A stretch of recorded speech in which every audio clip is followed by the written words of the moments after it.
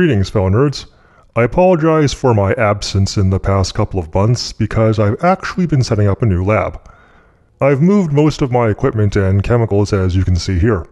The setup is taking a while, not because it's all that hard, but because I'm lazy and underpaid. Since I have to do this as cheaply as possible, I have to build most of my own stuff like this fume hood that you're seeing the beginnings of. Don't worry, I am getting around to it. Uh, someday I'll actually read the instructions. Anyway, more videos will come uh, eventually. In the meantime, to help tide you over, I have collaborated with the very famous YouTube channel Cars and Water to deliver an experiment of the ever so popular red hot nickel ball in liquid nitrogen. Go over there and check it out.